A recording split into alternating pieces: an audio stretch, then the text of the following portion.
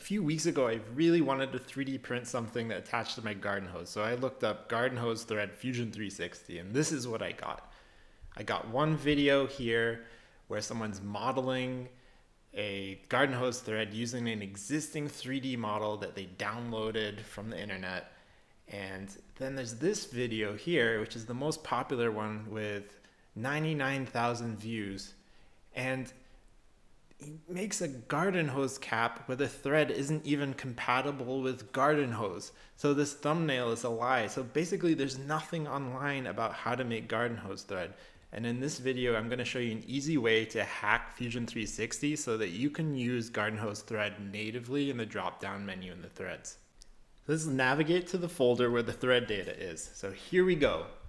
App data, local, Autodesk, web deploy, production, then we want to find the folder that has the most recent date. So is this one Dabka? Dabka. Then we go to Fusion again, and then server.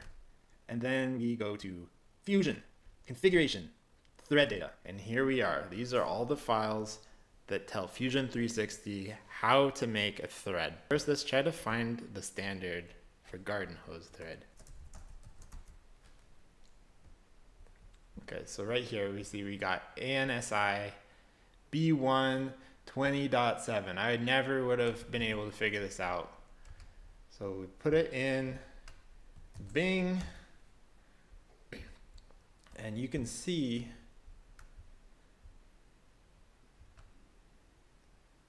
that you have to pay $43 for this. So basically, Garden Hose Thread is behind, locked behind a paywall. Let's open one of these XML files and see what it looks like. I'm just opening a notepad. You can see it has some pretty basic things about um, thread design. Um, so it's got the threads per inch here, major diameter, pitch diameter, minor diameter.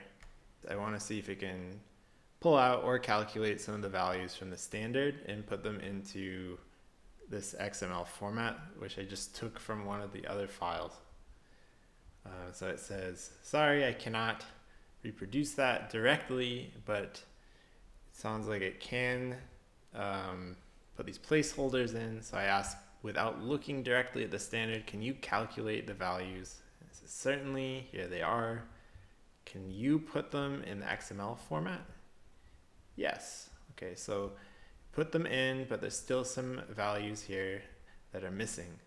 So I said, can you guess or calculate the non-specified values?